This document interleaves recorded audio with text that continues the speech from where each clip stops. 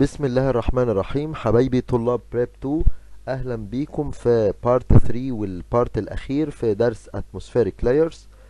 كنا اتكلمنا في آه، الفيديو اللي فات عن التروبوسفير وخدنا المسائل بتاعتها واتمرنا عليها. دلوقتي إن شاء الله هنروح للطبقة اللي بعدها اللي هي number 2 stratosphere stratosphere ليها اسم تاني بنقول عليها ozonic atmospheric envelope ومن اسمها بنعرف إن الاستراتوسفير بتشمل على طبقة الأوزون. طيب تعالوا نعرف معلومات أكتر. فبنقول إن الاستراتوسفير هي ال location بتاعها زي ما اتكلمنا عن الطبقة اللي فاتت من حيث اللوكيشن الثيكنس التمبريتشر البريشر. هنتكلم كمان عن كل الطبقات بنفس الطريقة.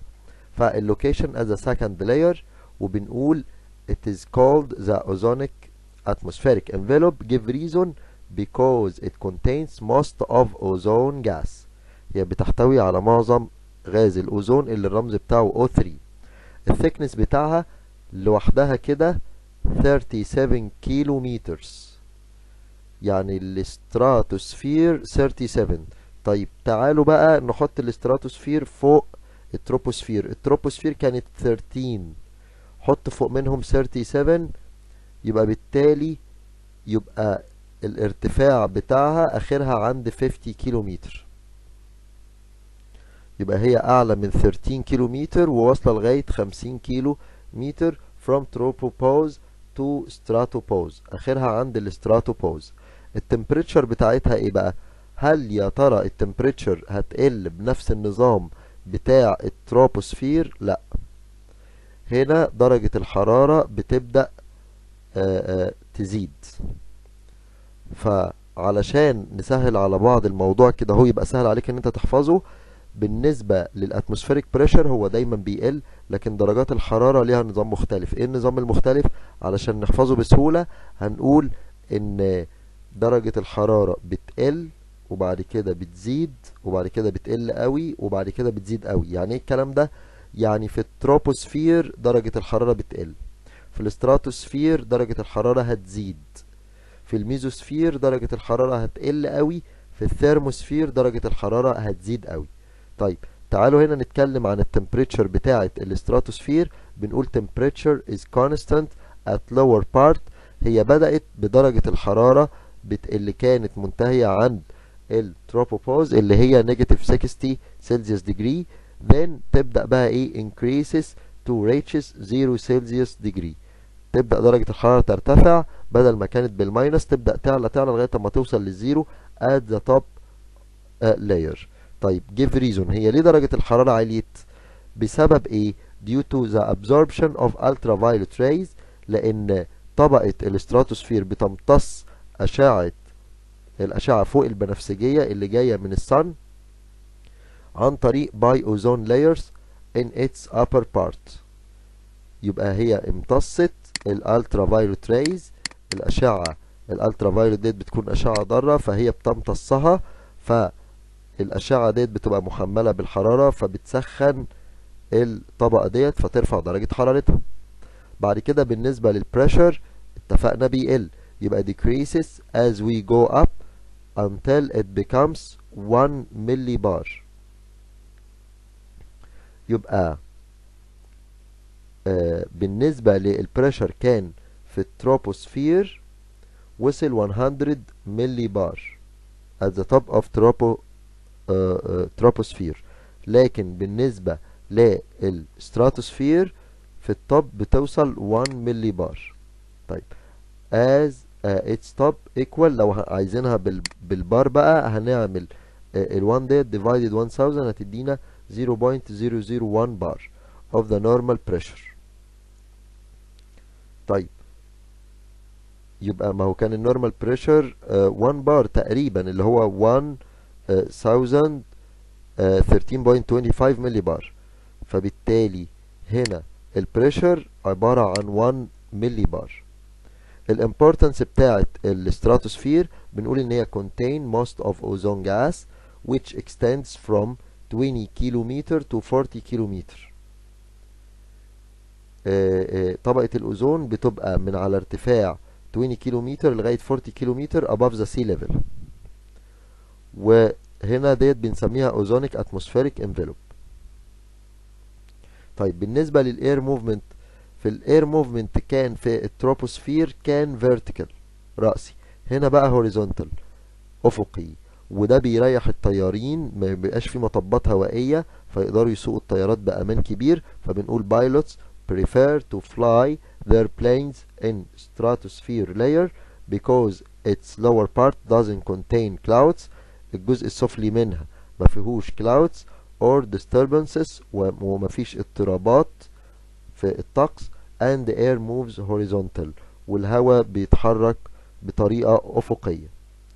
نروح للطبقة اللي بعد كده الميزوسفير. معنى كلمة ميزوسفير يعني middle layer الطبقة المتوسطة.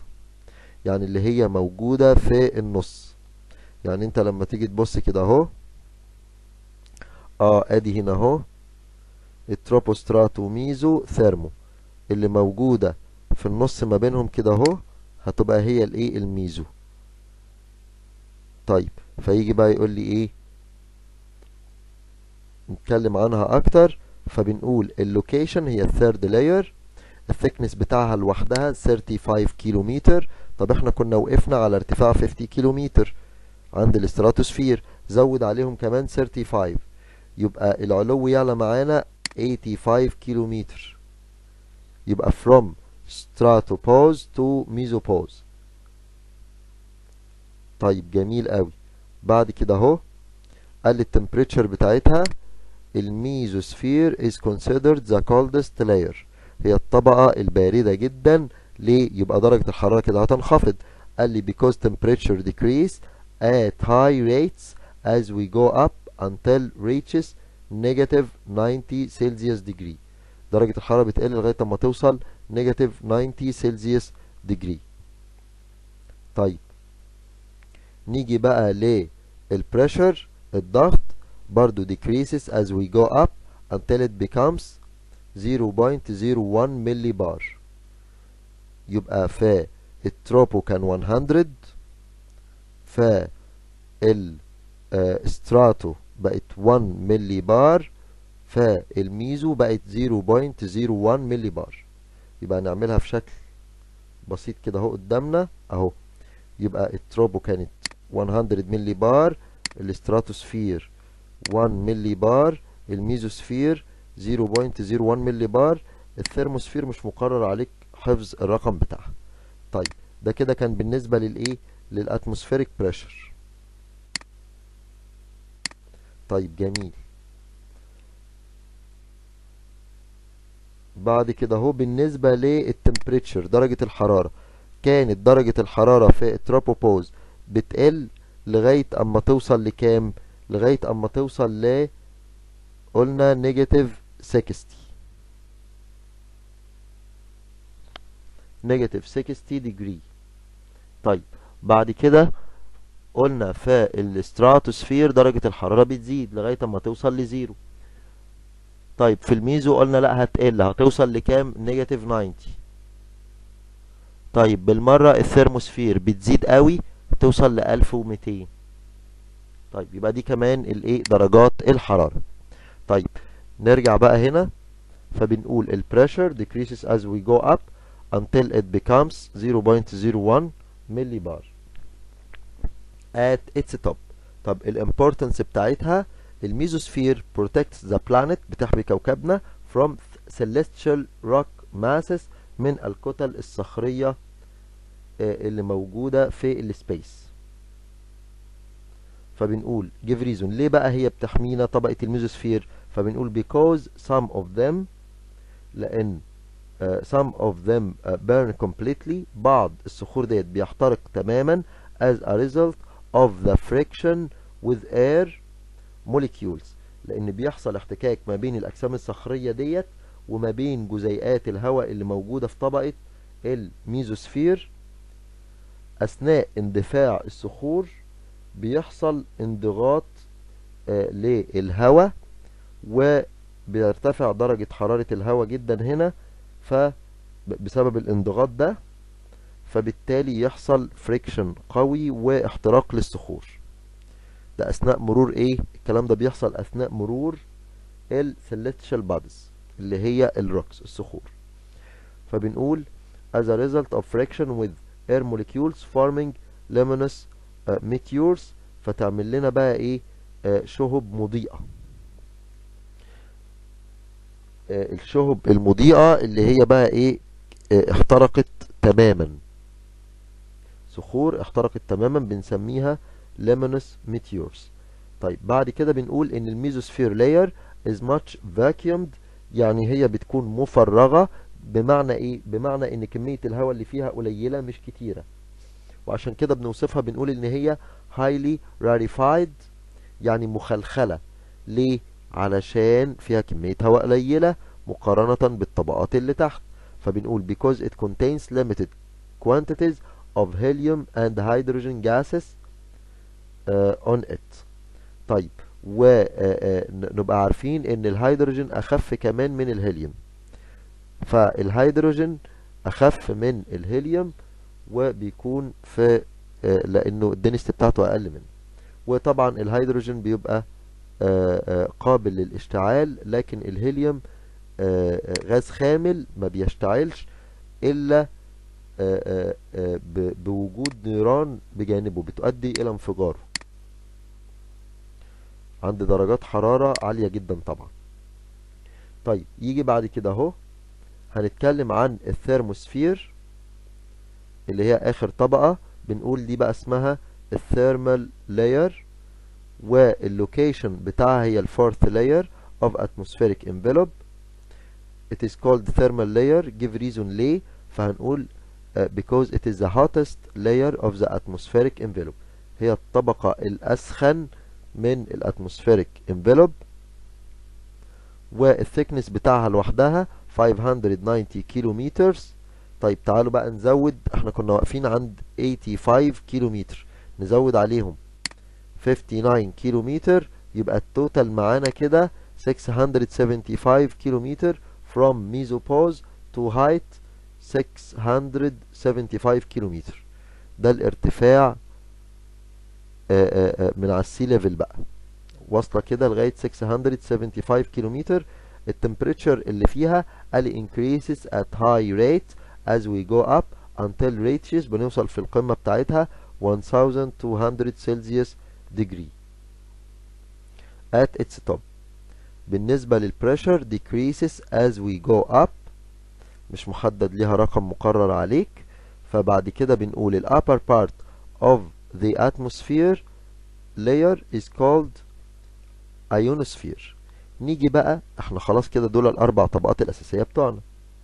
في جزء ملتصق. طب يا مستر إحنا اتفقنا إن طول ال atmospheric envelope عبارة عن 1000 كيلومتر. إحنا وصلنا لغاية 675 كيلومتر. طب والباقي؟